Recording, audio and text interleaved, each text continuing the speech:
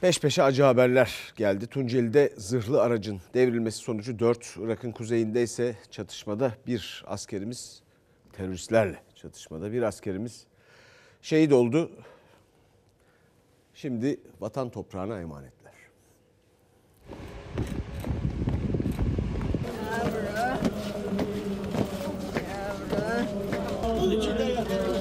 Sen şeysin.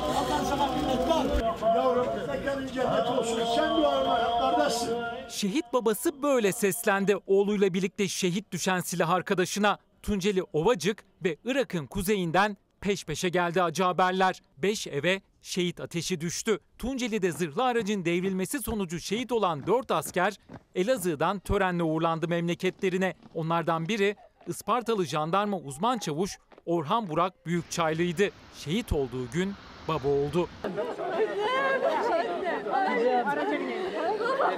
Şehidimizin e, yeni bir Mehmet'i dünyaya geldi sağlıklı bir şekilde. Allah Teala şehidimize e, cennet makamı nasip eylesin. Evladına hayırlı ömürler nasip eylesin. Acı haberi alınca erken doğum yaptı uzman çavuş Orhan Burak Büyükçaylı'nın eşi Isparta'da gözyaşlarıyla son yolculuğuna uğurlandı kaza şehidi.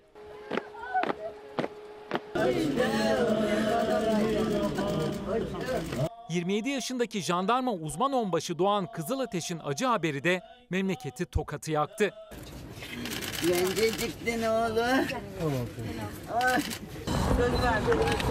Söz verdik. Jandarma uzman çavuş Ömer Eroğlu da 30 yaşındaydı. 4 yıllık evliydi. Eşi ağlamayacağım dedi. Şehit Eroğlu da Zonguldak'ta vatan toprağına emanet edildi.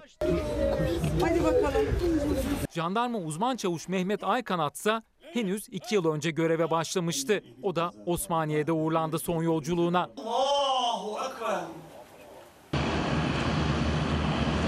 Piyade Üsteğmen Ömer Fatih Ayar da Irak'ın kuzeyinde Gara bölgesindeki çatışmada şehit oldu. Trabzonlu şehide yine Irak'ın kuzeyinde görev yapan yüzbaşı abisi eşlik etti askeri uçakta. Kahraman asker salı günü memleketinde son yolculuğuna uğurlanacak.